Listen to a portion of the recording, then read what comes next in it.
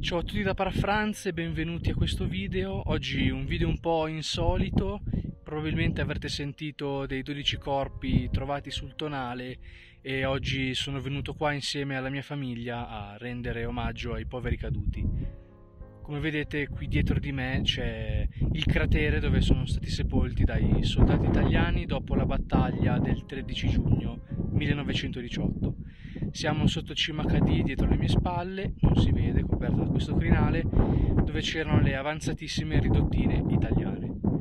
Abbiamo portato un mazzolino di fiori, ci siamo incontrati con altri appassionati casualmente che passavano di qua.